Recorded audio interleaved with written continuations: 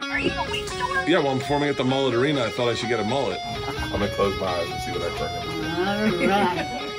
Oh, good night. You go. No, it's not my color. It needs to be pulled out of the frame. No, that's it.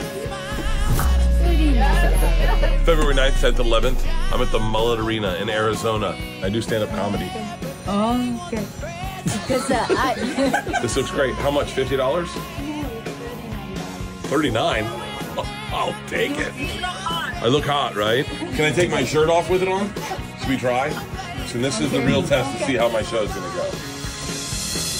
Oh Tempe, February 9th, 10th, and 11th at the Mullet Arena. I'll be there with Shane Gillis and Mark Normand.